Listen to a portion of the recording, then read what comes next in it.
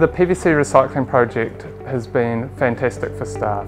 At every level the staff are concerned about the footprint of their practice. PVC recycling is an important way that they can reduce the environmental impact of, of healthcare.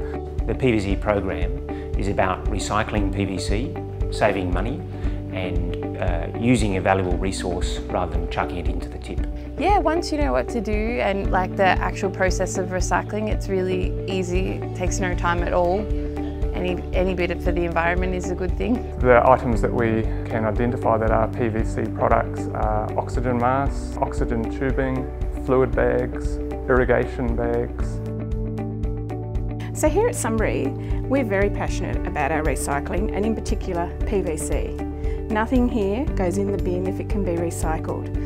To be able to recycle the PVC intravenous bags, we have to remove the burette and the giving set. We do that just by cutting it off at the bottom. There's a sharp spike enclosed in here. If we cut it off at the bottom, that sharp spike stays enclosed, everything stays safe. This line then goes into general waste and then I empty the bag and it goes into the PVC recycling bin.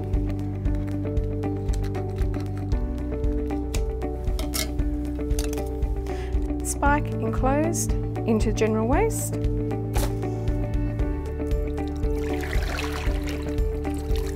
Leftover fluid, drained and then into the PVC bin. This is a fairly typical scene in a clinical setting with uh, plaster scissors at the sink and some bags draining from the treatment that's been. So what we do is cut the two ports off the irrigation bag put the ports in the landfill and the PVC bag in the PVC recycling stream.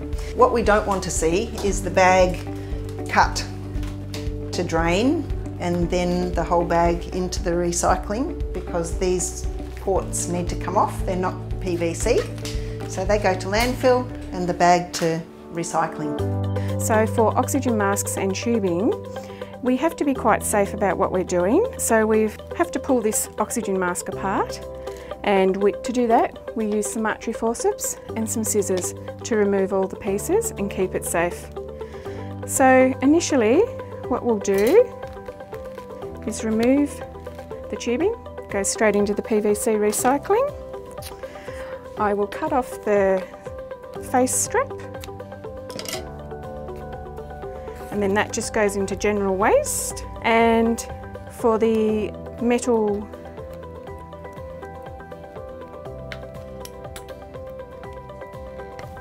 like that. That can go into general waste or it can also go into aluminium recycling. And then we're left now with the mask with a plastic nib.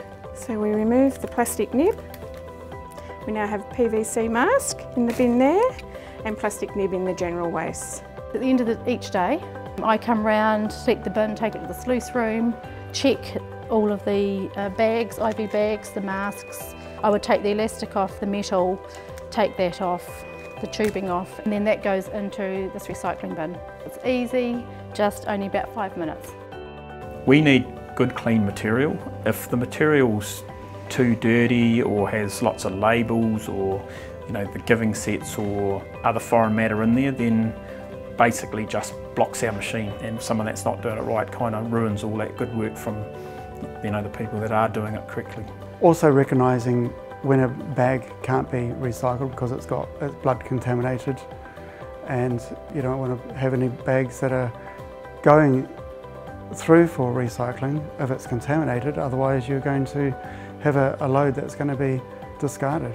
Some people do get a little bit confused about what goes where and what they should do. The key message for that would be not to um, put your waste in the PVC recycling or any other stream of waste if you're not sure where to put it. So the PVC recycling process is a part of our practice. It's completely embedded and when new staff come into the department and they're orientated, it's, a, it's very much a part of their orientation to our practice in the dialysis unit. It's just what we do. Someone taking that IV bag off the ward and putting it in somewhere, it's going to something that, you know, people can see. It's a great concept. Matta as a company, we're looking for probably 40 tonnes of scrap PVC per week. The amount we get from the hospitals, if we had every hospital in New Zealand and every hospital in Australia that was collecting medical waste just for us, we probably would still not have enough material. So the more we get, the, the better. It's a good source of material and um, we just wish we could get more of it.